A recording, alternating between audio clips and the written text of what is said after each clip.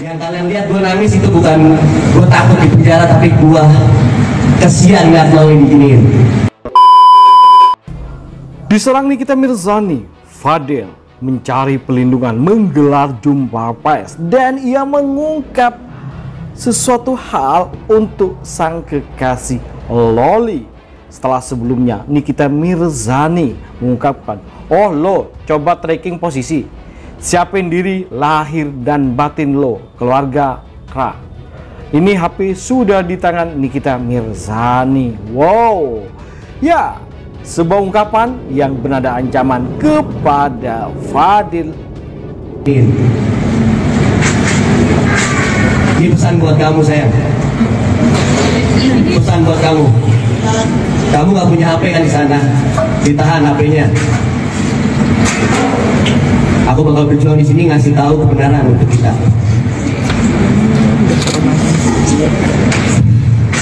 Ya, Tenang, tenang. Tenang Loli, nggak apa-apa Loli. Tenang, tenang, tenang. Tenang aja, tenang.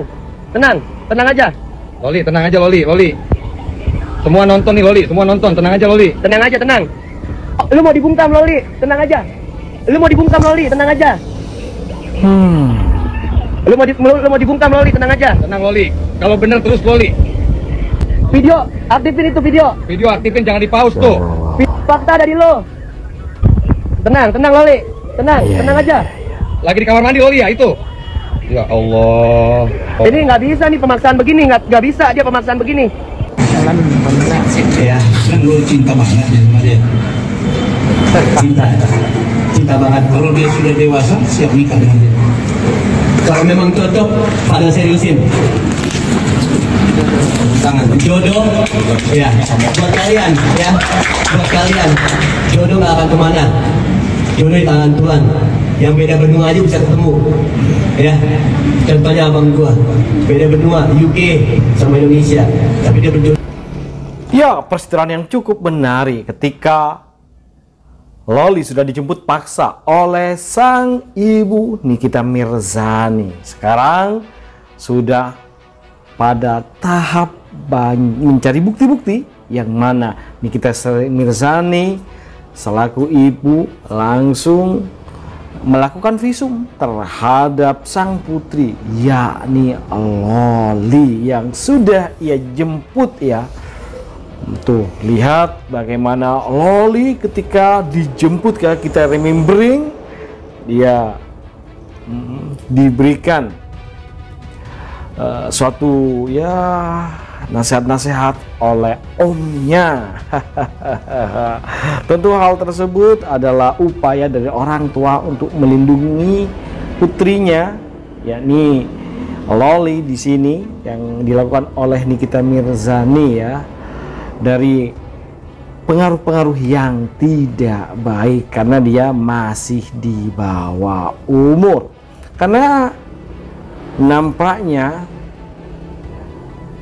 labilnya Loli ini juga karena pasangannya yang selalu mendukung apa yang dilakukan oleh sang putri dari Nikmir ini sehingga sampai berseteru sama orang tuanya. Ya baru di episode ini Nikita Mirzani menangis ya karena sebuah perseteruan. Karena perseteruan tersebut ya terjadi antara dirinya dan sang putri. Tentu sesuatu yang menyakitkan sekali bagi seorang ibu ketika anaknya melawan dan itu terjadi di media sosial yang hal tersebut menjadi konsumsi publik. Dan juga yang menjadi menarik karena di sini Fadel juga sudah menggandeng pengacara yakni Rasman yang tentunya akan nanti bertemu karena aduan laporan yang dilakukan oleh Nikita Mirzani yang telah menggandeng pengacara sebelumnya ya. Pengacara Nikita Mirzani sejak dulu yakni Fahmi Buahmid yang akan menjadikan nanti perseteruan di antara mereka yakni Fadel dengan Nikita Mirzani akan semakin seru. Apalagi setelah proses visum yang dilakukan oleh Nikita Mirzani terhadap putrinya di Polres ya Jakarta Selatan tentu hal tersebut akan memberikan bukti-bukti tersendiri dan ungkapan dari Fadil sendiri menunjukkan bahwa ia cinta Loli. Tapi apakah seperti itu? Karena ada yang membongkar bahwa selain dengan Loli Fadil juga dengan wanita-wanita lain. Apakah hal tersebut hanya sekedar rumor belaka atau memang kenyataan seperti itu? Kita masih belum ada bukti, cuma dugaan. Makanya ini kita mirsa nih langsung mengamankan sang putri yang tentunya ia jaga selama ini karena ia adalah putri satu-satunya karena dua adiknya adalah seorang laki-laki. Mereka adalah laki-laki kecuali Oli yang merupakan putri Nikita Mirzani yang sulung hal yang cukup menarik bagaimana endingnya tentu kita masih penasaran dan bertanya-tanya terkait hal tersebut tentunya. Gimana ceritanya Bang Abang menjadi kuasa hukum Padel? Saya tadi malam didatangi oleh keluarga besar Bapak Bajide. Kan dia ini kan turunan Arab, eh, Arab dan Kupang di NTT. Nah, pertama bapaknya Pak Umar Bajide, ibu kandungnya juga Ibu Titin, ah, kakak kandungnya atau abang kandungnya Martin Bajibe, kemudian satu lagi saudara Bintang Bajide. Dan Fadel Al Fajar Bajide.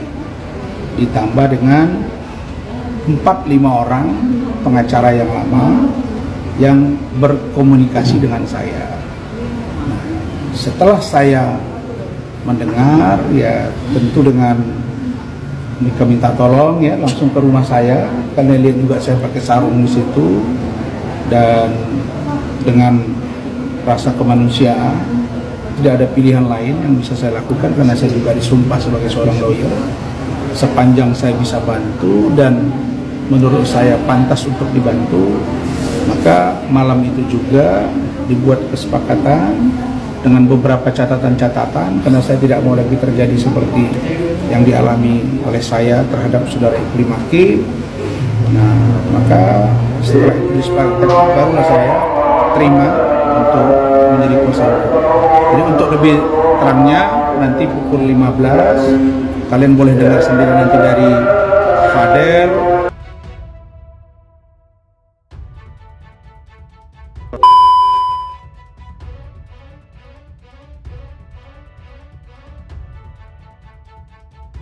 Bagaimana menurut kalian guys? Jangan lupa kasih komentar, like, dan masukan agar tambah seru keuangan mereka berdua yang so selalu akan kita sajikan kabar terbaru terupdate tentang selebriti tanah air dan mancanegara yang bakal bikin kita semua happy senang dan update akan kabar berita terbaru tentang mereka tentunya. Oke itu saja kabar dari kami. Jangan lupa like, comment, dan subscribe. Terima kasih telah menonton. Yuk, bye-bye.